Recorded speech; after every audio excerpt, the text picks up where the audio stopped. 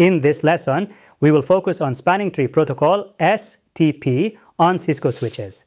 STP is a layer 2 protocol used on switch domain. The main duty of STP is to provide layer 2 redundancy and layer 2 loop prevention. There are different STP versions, STP, RSTP, PVST+, MSTP, etc. But here we will see the basic STP to learn the key points of this mechanism.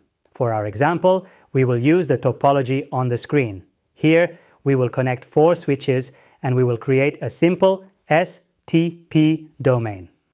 Firstly, let's connect these four switches each other. Here, I will use crossover cable because it is switch-to-switch -switch connection.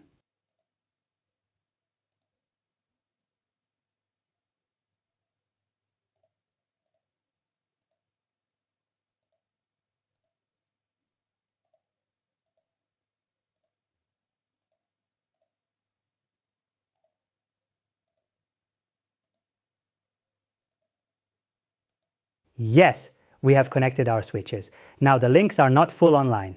We should wait a little. All the ports will be green except one port.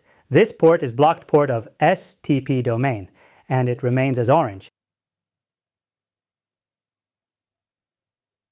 Now let's check spanning tree on each switch. We will start with switch 0.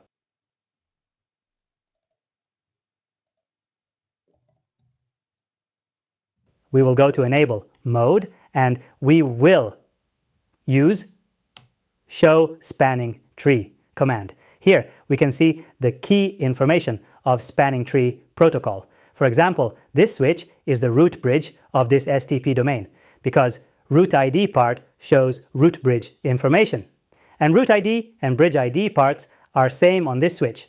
And STP priority value is 32,769 and the values of STP timers hello time, max age time, and forwarding delay. And the other key points are port roles. All the ports of switch 0 is in designated role, because the ports of the root bridge are always in designated role, and the state of these ports are all forwarding. Now let's check spanning tree on switch 1.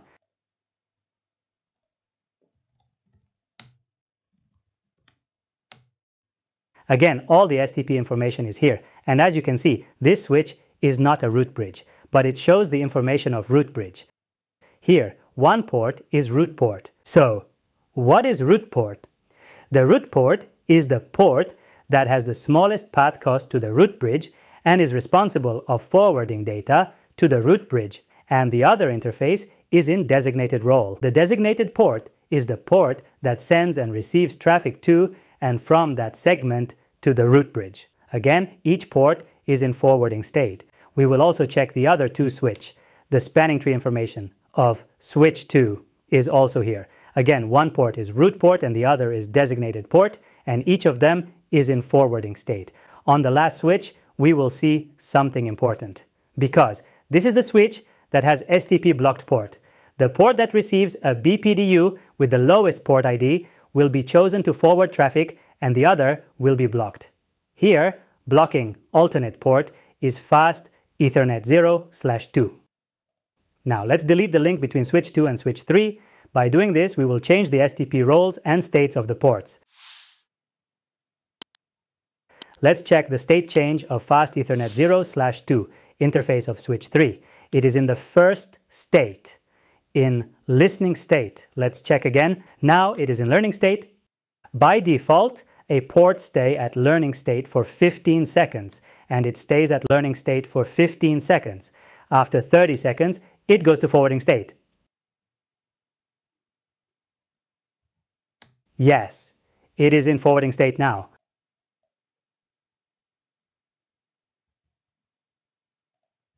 By the way, let's remember the states of STP one more time. At the beginning, the port is in blocking state. Then it goes to listening state. It stays here for 15 seconds. By default. After that, it goes to learning state. It stays here for 15 seconds. After 30 seconds later, the port is in forwarding state. This is the active state of a switch port. Now let's connect the interfaces again and check STP again.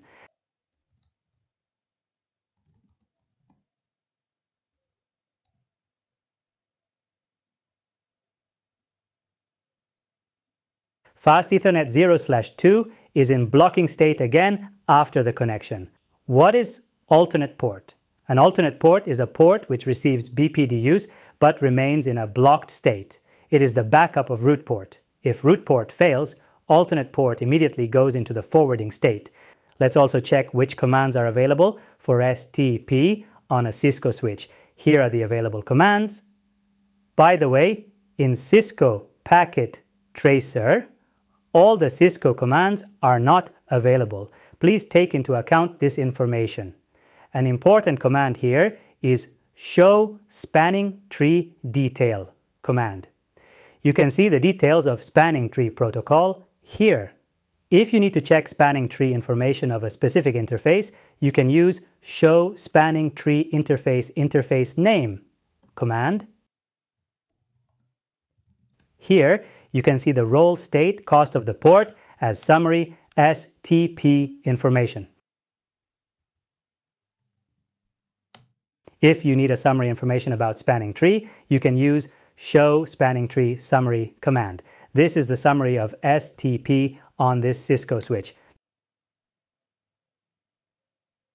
Now, let's learn why switch 0 is elected as root bridge of STP domain.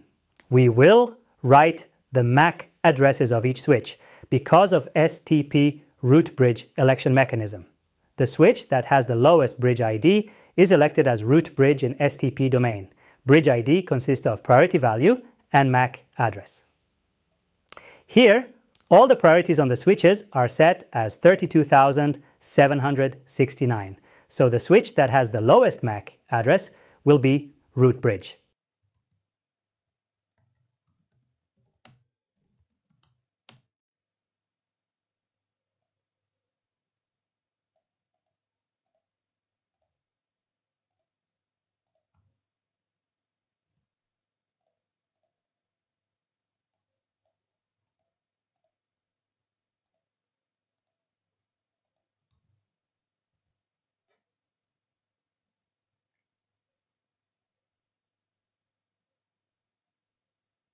As I mentioned before, all the priority values on the switches are same. So we will check lowest MAC to find the root bridge that we already know. When we check MAC addresses, as you see, the lowest one is switch 0's MAC, and this why the switch 0 is the root bridge. This is the basics of spanning tree protocol, STP. We will also see the details of spanning tree in another lessons detailedly. But for the beginning, these information is enough. Thank you very much for following our CCNA course. Please do not forget to like and subscribe. Good luck.